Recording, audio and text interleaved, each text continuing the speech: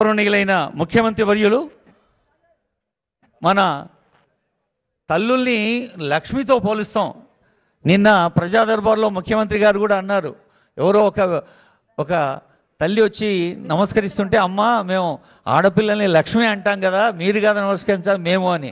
అలా మహాలక్ష్మిని నమస్కరిస్తున్నారు ఇప్పుడు మహాలక్ష్మి పథకం ద్వారా.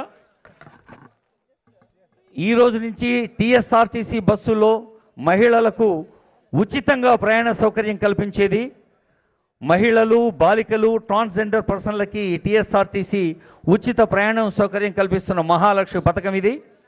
మరి రాజీవ్ ఆరోగ్యశ్రీ పోస్టర్ ఆవిష్కరణ రాజీవ్ ఆరోగ్యశ్రీ చికిత్స వ్యయ పరిమితి పెంచే ఆవిష్కరణ తర్వాత ఇప్పుడు మహాలక్ష్మి. మొత్తం తొంభై ఏడు డిపోలు ఎనిమిది వేల ఐదు వందల అరవై నాలుగు బస్సులు ముప్పై రెండు లక్షల కిలోమీటర్ల దూరం నలభై ఐదు లక్షల ప్రయాణికులకి సాయం చేస్తున్న ఆర్టీసీ నలభై శాతం forty percent of the commuters are ladies నలభై శాతం మహిళలే ఉన్నారు. City ordinary city metro district ordinary వెలుగు మినీ వెలుగు పల్లె వెలుగు అన్ని డిస్టిక్ ఎక్స్ప్రెస్ల్లో ఉచిత సౌకర్యం. ముఖ్యంగా జీరో ఛార్జీ టికెట్ ఆవిష్కరణ జరుగుతోంది ఇప్పుడు. జీరో ఛార్జీ టికెట్ ఆవిష్కరించి మన ముఖ్యమంత్రి గారు డిప్యూటీ సీఎం గారు మన సోదరిమణకు అందజేస్తారు.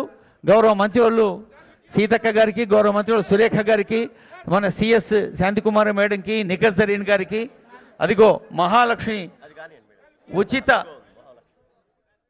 టికెట్. ఐ రిక్వెస్ట్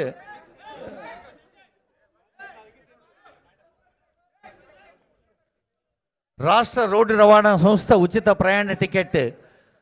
ఒకసారి ఛార్జీ అనే చూద్దాం. ఎక్కడైనా ఛార్జీ అన్న రెండు అక్షర రెండు అక్షరాల తర్వాత పైసలు ఉంటాయి. రూపాయో రెండు రూపాయలు ఉంటుంది కనీసం. కానీ ఇక్కడ మొత్తం సున్నాలే పెట్టాను. అంటే ఛార్జీ జీరో ఛార్జ్ టికెట్ అనేది ఒక అద్భుతమైన సౌకర్యం ఇది.